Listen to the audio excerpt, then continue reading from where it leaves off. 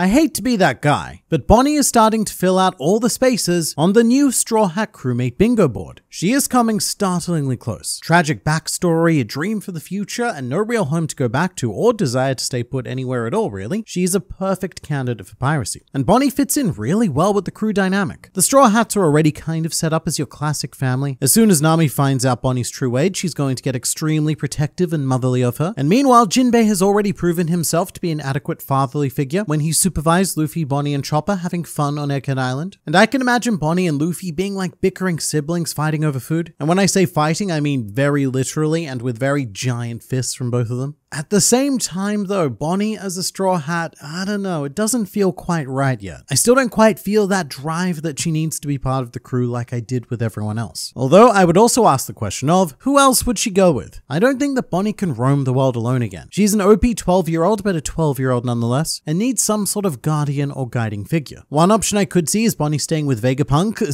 wherever he slash they end up. That, or maybe even taking up residence with the Revolutionary Army, following in her father's footsteps and everything.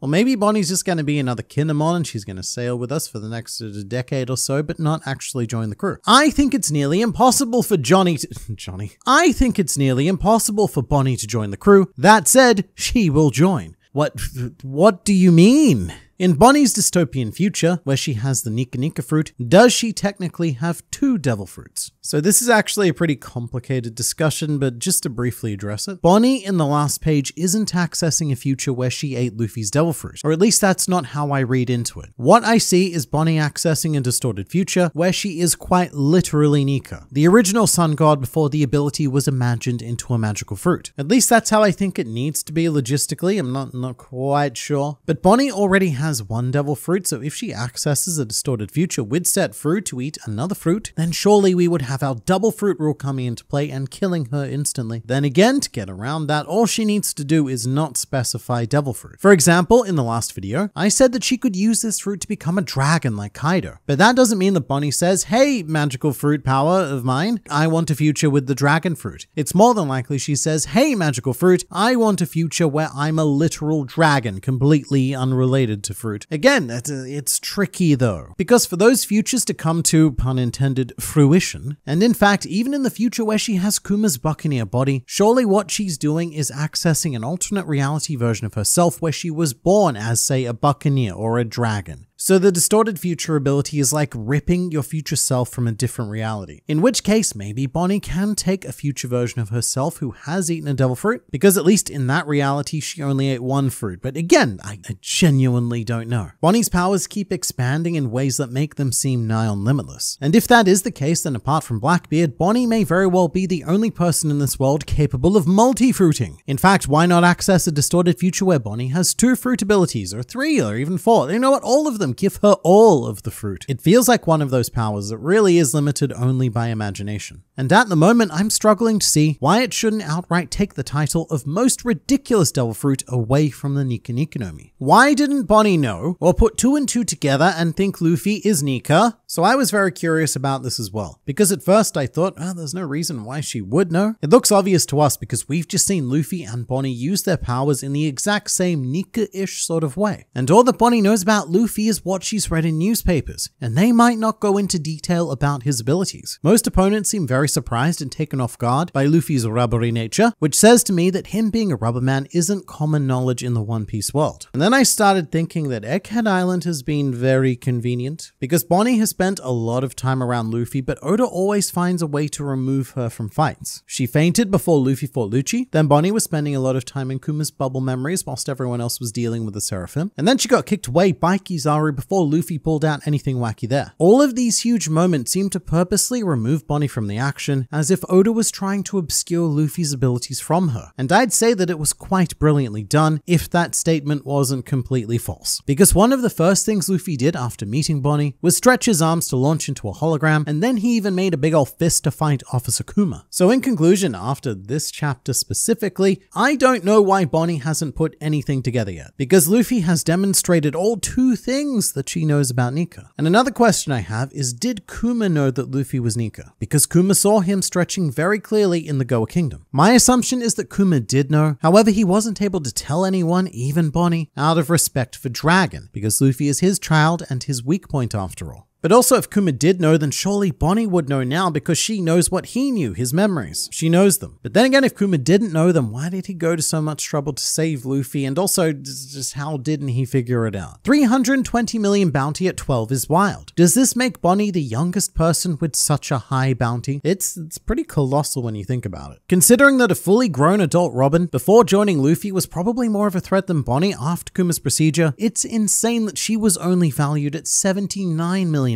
But I believe the record is firmly held by Charlotte Lin Lin. As a five or six year old, she was given a debut bounty of 50 million berries. And not long after that, it was raised to 500 million. And looking at these pictures, I don't think there's too big of an age difference between them. So Big Mom was probably worth half a billion before she even reached the age of 10. But what we can say is that Bonnie obliterated Kaido's personal best. He didn't even get his first bounty until he was 13. What a scrub. And get this, it was only 70 million berries. So Kaido was beaten by Big Mom, Bonnie, and Robin. Bonnie seeing the sun for the first time is such an important panel. It is, and it's something that I completely skipped over because I was more heavily invested in punching a nurse. But it's not that Bonnie has never seen the sun, it's more that she doesn't remember. The Sapphire Scale symptoms began when she was a toddler. So for all intents and purposes, this is the first time that she's seen the outside world. And it really adds to the last part of the chapter because after having seen the sun, Bonnie resolves never to go back to her previous life and even uses the sun as inspiration to put down Alpha by taking on the image of the sun god. And it's even got the wanky symbolic choreography of Alpha Alpha being smote down from above. But this is one reason why I can see Bonnie at least traveling with the Straw Hats, because she doesn't want to go back to her static existence. Her father promised her a world to see, and now Bonnie wants to see it all. And traveling with the Straw Hats would be a fairly good way to do that. In fact, she may even be able to see an island or two that Kuma didn't. Who knows if he ever went to Elbaf and he definitely never got to see Laugh Tale. My hot take. This flashback is literally what Bonnie saw in Kuma's memories, and we're all experiencing it with her. Yeah, but then how did he know about all the parts he wasn't there for? That's what most of us thought was going to happen. Bonnie was going to touch the bubble, and that was going to be our vehicle into the Kuma flashback, which would have been a really cool new way to explore a One Piece flashback, with a powerless bystander from the modern day taking a much more active and inquisitive role. As much as I like the concept, I think it would have been really difficult to pull off, or at the very least, not as effective as just telling the story in this more classic traditional way. Because it's not just Kuma and Bonnie's perspectives that we're seeing. We've cut to the Revolutionary Army on their own, we've cut to each of the original seven warlords and even Saint Saturn having some alone time in his old man chair. Alpha ripping the letters seemed personal. If she was Kalifa's sister and Laskey's daughter, there might be something to this. Jealousy that Bonnie and maybe even Kalifa had something that she never did. I kind of love this idea. So what we're saying is that Alpha is something of an unloved child and never got the attention she really needed from her father, Laskey. So when she does encounter a loving father, it cuts Alpha pretty deeply because Alpha was the neglected child and Kalifa was treated as the project because her raw talent was identified from an early age. And then at Cypher Pole family gatherings, everyone's always asking, oh, how's Kalifa doing? And then the answer's always, well, she's doing so well that I can't tell you because it's a big secret. Meanwhile, you've got Alpha sitting there in the corner just praying that no one brings up that time she blew her cover as a drunk nurse and got beaten by a nine year old. Also, just because I keep getting comments about this, to be clear, Alpha and Kalifa are two different people. Five years ago is when Kalifa started her mission on Water 7, which is long before Alpha was assigned to Bonnie on Sorbet. When Kuma and Rayleigh were talking telepathically on Sabaody, wasn't that a version of observation haki? Alright, this might seem like a bit of a weird question, and there's there's a lot of assumptions happening here, but it touches on something that I've been thinking about for quite a while. But the weird thing is that telepathy does seem to legitimately exist in the One Piece world, and we even have a very blatant example of it in this chapter. Whilst Alpha is feeding Bonnie her quote medicine, Gyogyo and Connie are speaking to each other telepathically through thought bubbles. Gyogyo asks why they're hiding Bonnie's powers, and Connie delivers the answer straight into his mind brain. Now, one theory is that this is how Oda implies that characters are whispering to one another, which would be great, except in the panel right next to it, you have Alpha using the exact same bubble device, but it represents a private thought because she's all giddy about feeding Bonnie a horrid lemon flavored placebo. Also, this goes much deeper than I thought it did, because this is a device that Oda has been using for quite a long time now, and it almost exclusively pops up in cases where characters can't freely communicate, such as the Udon prison, where Luffy and Hyogoro couldn't speak freely due to the guards around them. So Hyogoro did the classic telepathy bubble. However, there's a problem here, because a lot of you probably know this, but Oda has a very specific rule when it comes to writing Luffy, which is that we never see his thoughts. The idea is that Luffy is so simple to the point where if he's thinking something, he's probably already saying it anyway. And so when Hyogoro attempts to speak to Luffy through a thought bubble, what Luffy does is use his Conqueror's Haki to knock out the guards because he can't reply with a thought bubble, as that would of course break the Luffy rule. So he knocks out the guards and then proceeds to speak at his regular volume. But look, Oda isn't perfect, and there are a handful of very rare circumstances when the Luffy rule has been broken. Most notably in Impel Down, after Hancock smuggles Luffy in and he says thank you in bubble form, which Hancock mishears slash misinterprets as I love you. And you'd think the anime would have the answer to the question of exactly what's going on here, but it doesn't. In fact, the anime chooses not to deal with this at all. For example, in that same scene of Udon, they have Hyogoro just speaking at regular volume. They ignore it completely. So the sort of telepathic slash I guess whisper conversations are a purely manga phenomenon. What baffles me is that a lot of people seem to blame Dragon here because quote, he is just making excuses. I'd like to remind everyone of what the WG did when they found out Roger had a son. I think that's very fair. Nobody is more aware of what the world government will do to the spawn of prominent criminals than Dragon, or Garp, or the entire world, because of that one time where the Marines publicly killed, quote, anybody who looks suspicious, and in this case, what suspicious meant was baby or pregnant woman. And Kuma is another example. Saint Saturn finding out about Kuma's child and her condition quite literally put Kuma under his control. So that line in the chapter about a child being the parent's weak spot isn't wrong at all. So I get it, and I think it's more than fair that Dragon has kept his distance from Luffy, but again, that's assumedly due to his choices. I think it was put best by one of our amazing Grand Fleet members. His name is Brandon, and he said that Dragon was a bad dad with good intentions. He went out for milk and cigarettes, but never came back because he found himself caught up in dismantling an authoritarian dictatorship. You know, the classic trope. But I am very keen to find out when Luffy fits into all of this, because the Revolutionary Army itself is actually older than Luffy, or the Freedom Fighters are at the very least. They existed at least 22 years ago during the Ohara incident, whilst Luffy is only 19. So early on in his quest for global revolution, Dragon decided, you know, let, let's procreate. Nothing could go wrong there. But then he realized that, oh no, my child, the child of one of the world's most wanted criminals, probably isn't going to have the easiest life. I've got nothing to say, I'm just here to be milked for content. Milk me! Very well, sir. Consider yourself thoroughly milked.